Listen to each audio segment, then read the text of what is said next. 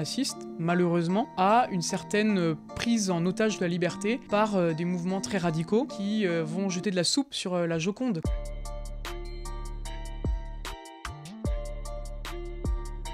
Il est directeur général du think tank Écologie Responsable. Aujourd'hui, Ferréol Delmas. Et face aux jeunes, bonjour. Bonsoir Lucas Del Castillo. Merci pour l'invitation. Bah, avec grand plaisir. Alors, j'ai regardé un peu sur le site d'écologie responsable, donc le think tank. c'est un think tank qui croit à une écologie du réel. Mais alors moi, première question, qu'est-ce que c'est l'écologie du réel? Alors, c'est un terme qui peut paraître un peu euh, présomptueux, je pense. Mais ce les autres ne seraient du coup pas réels. pas forcément réel. le nom du think tank, c'est écologie responsable. Donc déjà, ça permet de marquer un peu, euh, de marquer les choses. C'est aussi voilà pour faire réagir de manière euh, plus large les, les, auditeurs, les téléspectateurs, les gens qui nous lisent. Mais l'écologie du réel, c'est de se dire aujourd'hui, on assiste à une écologie de gauche, une écologie décroissante, euh, qui en fait euh, est assez hostile aux libertés. Hmm. Et nous on s'est dit bah face à ça on va essayer de créer une écologie du réel donc avec euh, qui est fait des, de propositions très concrètes sur différents sujets, donc les sujets agricoles, les sujets de mobilité, les sujets d'énergie, et qui soient au plus près des besoins des citoyens, des, de, ce que vivent les Français et les Françaises. C'est pour hmm. ça qu'on a dit une écologie du réel. Euh, pour, voilà, pour essayer de marquer le coup, voilà, tout en sachant que ça ferait forcément euh, un peu polémique euh, dans un certain sens. Donc du coup, le think tank s'oppose véritablement à l'écologie telle qu'on peut la voir dépeinte voilà, sur les réseaux sociaux, dans les médias, etc., à l'écologie dite de gauche. Vous placez vraiment en opposition on se place en, oui, on se place clairement en opposition. D'accord. Donc il n'y a pas une espèce de, vous, pas, de vous compléter quoi. On peut se compléter. Moi, j'ai de bons rapports avec, avec certaines organisations parce que on était sur quand même. il faut, faut, quand même rappeler que euh, l'écologie, quand historiquement de gauche, même si la mmh. droite a fait quand même certaines avancées. Par exemple, le premier, ministre de la, le premier ministère en charge de l'environnement à l'époque, euh, il s'appelait Robert Poujade et c'était un ministre de Georges Pompidou. D'accord. Euh, Nicolas Sarkozy a mis en place le Grenelle de l'environnement euh, et Valéry Giscard d'Estaing a mis en place certaines lois aussi. Et il y a eu des lois notamment sur la littoralisation sous Jacques Chirac. Donc la droite n'est pas en reste sur ces questions. Mmh. Néanmoins, il y a quand même, on va dire d'un point de vue de la structuration du courant politique, c'est quand même majoritairement la gauche qui s'est placée dans ce domaine-là. Donc nous, face à ça, on essaie de structurer quelque chose en face. Donc de ce point de vue, dans le, on va dire dans le champ médiatique, dans le champ politique, on est forcément en opposition. Même s'il y a des propositions qui peuvent se compléter, qui peuvent se recouper aussi parfois mais, euh, mais social aussi le sens euh, du débat politique, c'est parfois euh, savoir se réunir comme parfois savoir s'opposer.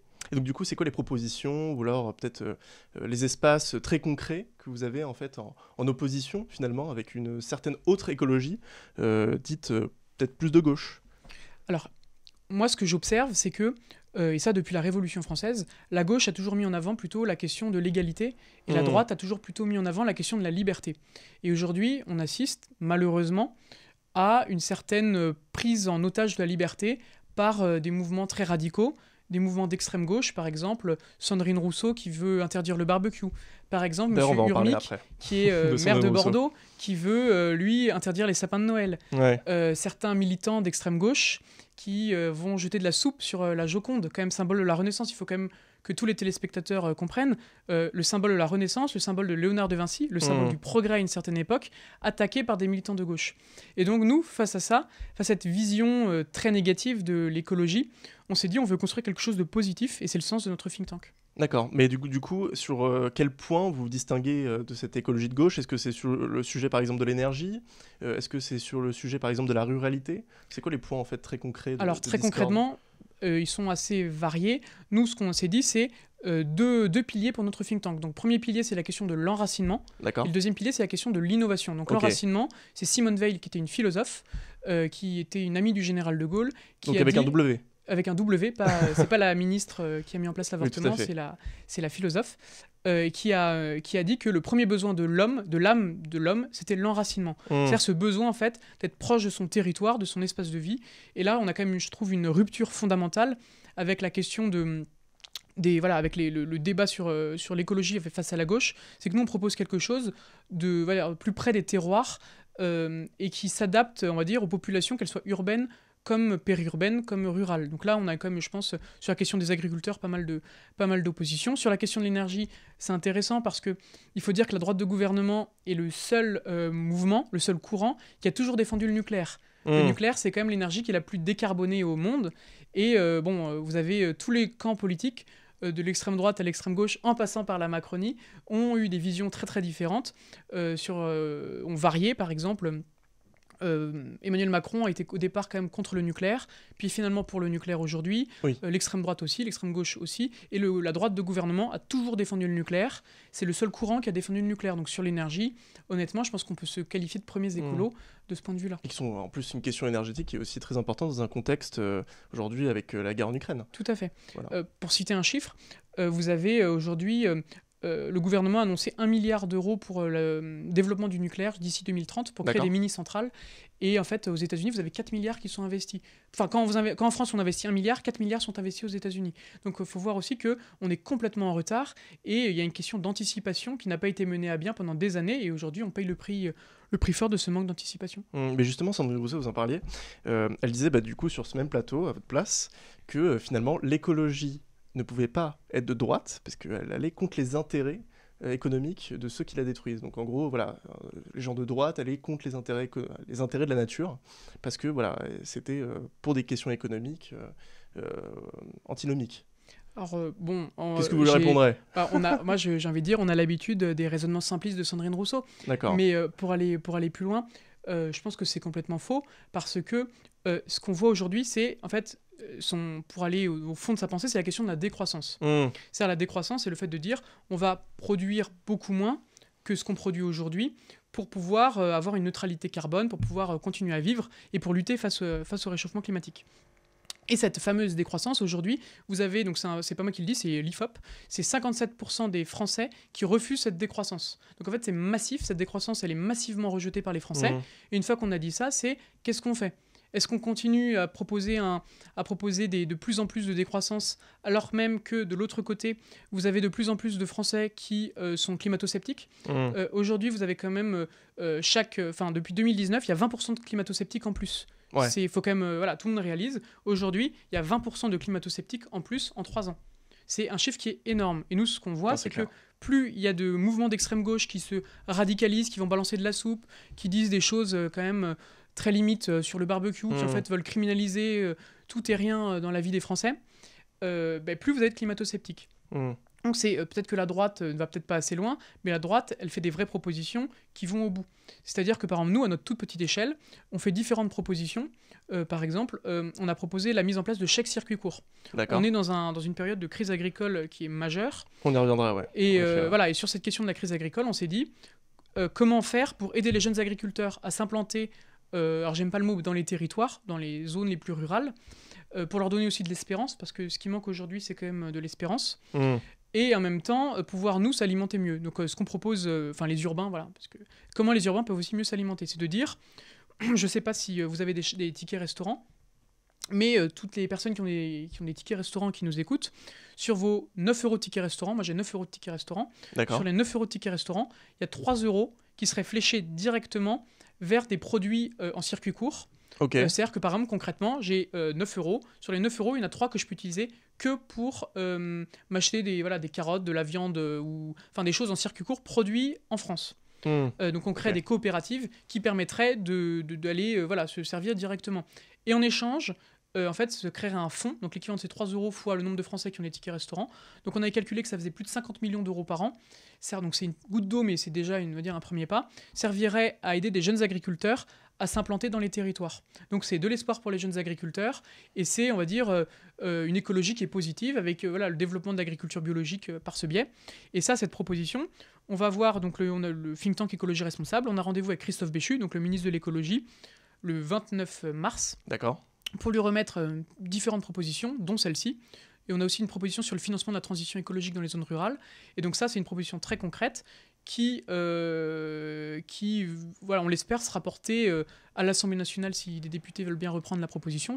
voilà, on espère. En tout cas, le ministre a une oreille attentive là-dessus. Et ça, c'est quelque chose de positif. Je suis pas sûr que Sandrine Rousseau, à part dénoncer les barbecues, euh, elle, elle a vraiment certaines propositions de loi qui passent et qui vont jusqu'au bout. Ça, ça mmh. serait intéressant de voir. En fait, le but, c'est alors c'est une citation euh, de Gérard Larcher, mais c'est à la fin citation de Gérard citation de Gérard Larcher, attention, mais c'est à la fin qu'on compte les bouses. Donc euh, voilà, moi ce que je dis c'est ok très bien, euh, c'est facile de venir crier dans les médias. Bon, c'est Sandrine Rousseau et puis tout le mouvement, notamment certaines jeunes activistes mmh. qui qu'on entend beaucoup dans les médias, mais c'est à la fin concrètement quand il faut rapport contre rapport et proposition contre proposition, voilà, qui fait avancer vraiment la cause du climat je pense qu'on peut dire qu'à droite, on se défend pas trop mal. Donc pour vous, la décroissance, vraiment, c'est c'est vraiment pas la solution. Quoi. Produire toujours plus, c'est vraiment pour vous la, marche à suivre. Et pas bah essayer d'aller dans une espèce de marche arrière là-dedans et essayer d'être peut-être plus responsable et plus sobre. Justement, alors là, il faut, faut, différencier tout à fait la sobriété de la décroissance. C'est-à-dire que la sobriété, c'est le fait de faire attention et le fait aussi de d'avoir un mode de vie qui est plus sain et qui est plus attentif à nos besoins et aussi à notre environnement. Et ça, nous, on porte tout à fait la question de la sobriété. Euh, et pour nous, justement, c'est euh, il y, a deux, y a deux paramètres à prendre en compte. C'est la question de, à la fois de la sobriété, donc le fait de pouvoir euh, de pouvoir vivre plus simplement, et la mmh. question aussi de la réindustrialisation, parce que en fait, euh, aujourd'hui, euh, on se dit, on va aller acheter par exemple des jouets pour Noël pour nos, pour nos, pour, nos enfants, euh, et vous allez les acheter en Chine. Et nous, ce qu'on dit, c'est, c'est, il vaut mieux avoir des jouets en bois français produits à côté de chez vous, quitte à produire plus en France, plutôt que d'aller acheter des, jouets en Chine. Et puis il y a aussi toute la question de euh, la modification de nos modèles, de nos modes de pensée, qui est forcément important. Mais euh, la décroissance, en fait, c'est un recul pour les Français et les Françaises, et ça, ils y sont pas prêts. Et euh, de toute façon, on fera pas, voilà, on fait pas la, on fait pas l'avenir en, deux jours. Mmh. Donc il faut aussi accompagner le changement. Et ça, je pense que pas mal de gens sont prêts à le faire. Sont prêts à le faire. Et vous répondez quoi, par exemple, à, à ceux qui disent de toute façon, l'écologie de droite, c'est une écologie de greenwashing? Bah, c'est dire c'est facile. Enfin greenwashing le greenwashing c'est le fait de c'est le fait de, de, cacher certaines choses en peinturlurant en vert par dessus pour essayer de pour essayer de faire passer le plus de choses faire un cache misère quoi. C'est un cache misère hmm. alors moi ce que je peux dire c'est que euh, à l'heure actuelle on est financé par on n'a pas un centime d'entreprise euh, privée. Donc euh, voilà ça permet de clarifier les choses et de l'autre côté, euh, nous, on essaie de mettre en place un dialogue. C'est-à-dire que euh, on a organisé des ateliers, on organise encore des ateliers économiques. Donc, on fait venir des chefs d'entreprise face à un panel de jeunes qui ont été sélectionnés, de jeunes étudiants ou de jeunes professionnels. Et on a fait venir, par exemple, le patron de Bayer, de Bayer Monsanto. Donc, c'est le, c'est le diable, hein, on, va dire, on va être clair. Pour beaucoup de gens, c'est le diable, parce que c'est les produits phytosanitaires, c'est, tous, ces, mmh. tous les produits chimiques euh, qui sont en cause. Et on lui a dit, bah, est-ce que vous êtes prêt à venir débattre? On va vous mettre en face, à vous des étudiants ou des jeunes qui sont pas forcément de droite, qui sont pas forcément, euh, qui seront pas forcément pro euh, Bayer, même euh, qui étaient pas, enfin certains étaient même franchement hostiles, mais vous allez pouvoir débattre sereinement, expliquer ce que vous faites mmh. et répondre aux jeunes. alors que en face, nous ce qu'on voit, c'est des jeunes enfin des jeunes ou des moins jeunes, qui vont en fait balancer des tomates sur le siège de Bayer. Et je suis pas sûr que Bayer va avancer dans le bon sens si on lui balance des tomates dessus. Donc il faut être dans le dialogue, quoi. Je pense qu'il faut être dans le dialogue, dans la co-construction, parce que c'est un terme à la mode. Et nous, c'est ce qu'on essaye de faire. Donc euh, voilà, nous, on s'est on retrouvés face au président de Bayer. Certains étudiants ou jeunes ont été assez euh, virulents face à lui, dans, voilà, en étant respectueux quand même. Et euh, on a pu, après cet échange, aller dans une ferme de Bayer pour euh, voir comment en fait ils développaient de nouvelles euh, formules euh, écologiques, notamment avec les lombriques. Parce que Bayer, c'est une entreprise et ils cherchent forcément à continuer à pouvoir voilà, exister sur le long terme. Et donc ils sont bien au courant que le glyphosate, donc qui est le produit phytosanitaire le plus en cause, mmh. sera un jour interdit. Parce que bon, c'est dans le sens de l'histoire. Et ce serait pas forcément une mauvaise chose, euh, voilà, on est, on est d'accord.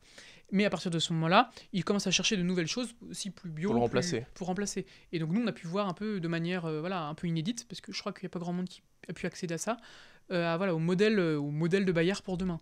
Donc c'est pas pour faire la pub de Bayer parce qu'on n'est pas financé par eux, mais euh, en tout cas on est dans le dialogue et on leur met à disposition, de Bayer ou d'autres entreprises, un panel de jeunes parce qu'on a 500 jeunes, certains sont, sont des agronomes, d'autres sont dans des écoles de commerce, d'autres sont juristes, qui font des propositions à ces boîtes pour avancer dans le bon sens, plutôt que de venir les dénigrer. Mais une fois qu'on a dénigré, en fait on n'est pas beaucoup, on n'est pas les plus loin quoi. Mmh. Non mais c'est clair, mais donc du coup si je comprends bien, parce que j'étais allé au salon d'agriculture et j'avais interrogé euh, beaucoup de jeunes agriculteurs directement, et, euh, et voilà, c'était un peu le cliché qui revenait le plus quand je leur posais la question, c'était euh, on est pris pour des, des, pollueurs, voilà, les Français nous voient comme des pollueurs. Donc si je comprends bien, vous n'êtes pas du tout voilà, en phase avec ce, genre de cliché.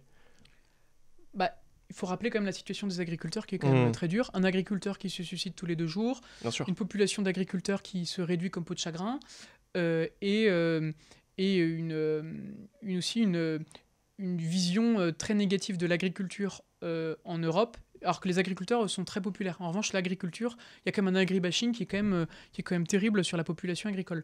Maintenant, nous, ce qu'on dit, c'est comment on peut faire pour aider ces agriculteurs à se s'écologiser parce que mmh. une fois qu'on leur a tapé dessus et une fois qu'on a dit euh, la PAC, la PAC, la PAC dans un sens, euh, comment on fait pour avancer? Donc nous, par exemple, bah, il y a la question du chèque circuit court, la question de la méthanisation parce que en fait c'est un sujet qui est euh, un sujet d'avenir. La méthanisation, pour voilà pour ceux qui nous écoutent, c'est des mmh, c'est un processus d'utilisation des, mmh, des restes agricoles, par exemple les betteraves, qui sont après euh, en fait euh, qui sont qui sont qui, se, qui sont dissous en fait avec un avec différents produits ou avec différents insectes et derrière ça permet de faire de l'énergie du biogaz et pour se chauffer etc donc ça s'appelle l'économie circulaire et mmh. ça c'est un modèle agricole qui est positif pour demain donc euh, le think tank, on allait à Utrepany dans l'heure pour voir justement euh, comment ça, fonctionnait. Euh, et on a pu écouter des agriculteurs qui nous disaient, aujourd'hui, la création d'un, d'un petit méthaniseur, c'est à peu près entre 3 et 4 millions d'euros. Donc il faut quand même investir. Et les aides, ça va jusqu'à 300, 400 000 euros. Donc il y a quand même peut-être besoin d'un investissement massif de l'Europe euh, pour flécher, euh, par exemple, voilà, des, méthaniseurs et pour aider, euh, pour aider les agriculteurs aussi à, transitionner, puisque c'est le mot qui est utilisé. alors que, en fait, ce qu'on voit, c'est que voilà, on, est dans une agriculture de survie aujourd'hui.